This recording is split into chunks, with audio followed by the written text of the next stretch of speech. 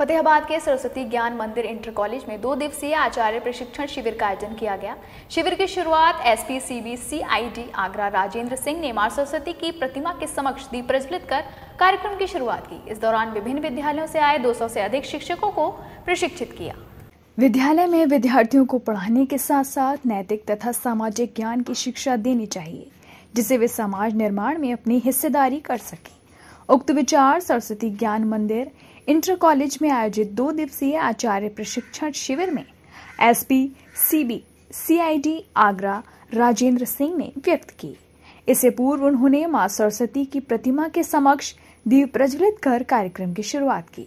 इस दौरान उत्कृष्ट आचार्यों का शॉल उड़ाकर सम्मान भी किया। सरस्वती ज्ञान मंदिर इंटर कॉलेज श्रृंखला के महाप्रबंधक शिशुपाल शरद ने कहा कि शिक्षकों को ईमानदारी के साथ अपने कर्तव्यों का पालन करना चाहिए, तथा सभी को शिक्षा ध्येय बनाकर काम करना चाहिए। एसपी, सीबीसीआईडी आगरा राजेंद्र सिंह ने अपने उद्बोधन में कहा कि एक आदर्श शिक्षक एवं शिष्य एवं कर्तव्यों का सैद्धांतिक एवं आध्यात्मिक रूप से वर्णन किया गया, तथा गीत एवं अन्य ग्रंथों का उदाहरण प्रस्तुत करके विषय की गंभीरता पर चर्चा की गई, तथा अध्यापकों ने जीवन के सार को समझाया।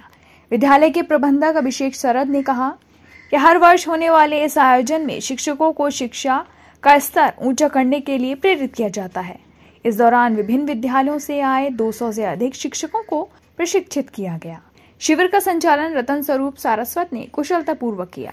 इस दौरान प्रमुख रूप से एसपी सीबीसीआईडी राजेंद्र सिंह, महाप्रबंधक शिशुपाल शरद, इंस्पेक्टर स्वतंत्र कुमार, राम अवतार सिंह, अभिषेक शरद, योगेश मिश्रा सहित बड़ी संख्या में गणमान्य लोगों ने शिक्षकों को संबोधित किया। कैरियर के लिए बच्चों को इतना ज़्यादा उन पर प्रेशर परिवारों की ओर से पड़ता है कि बच्चे कभी कभी हताशा कुंठा में आकर के बहुत आत्मघाती कदम उठा लेते हैं। हम ये चाहते हैं अपने शिक्षकों से कि जीवन, हमारे इतिहास को देखते हुए इस तरह की शिक्षा पद्धति हो कि हम कि हमारे बच्चे किसी भी क्षेत्र में जाए।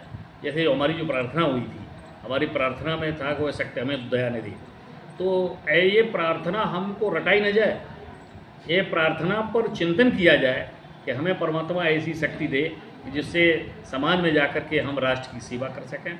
हमारे ये शिक्षक जो कहीं पर जो है पूरे वर्ष पढ़ाते पढ़ाते हताशा कुंठा में आ जाते हैं, निराशा में आ जाते हैं तो इनमें फिर से ऊर्जा पैदा हो। इसलिए हम लोग जो है जगह जगह पर कहीं दो दिवसीय, कहीं तीन तीन दिवसीय कभी कभी पच्चीस दिवसीय शिक्षण शिविर लगाते रहते हैं।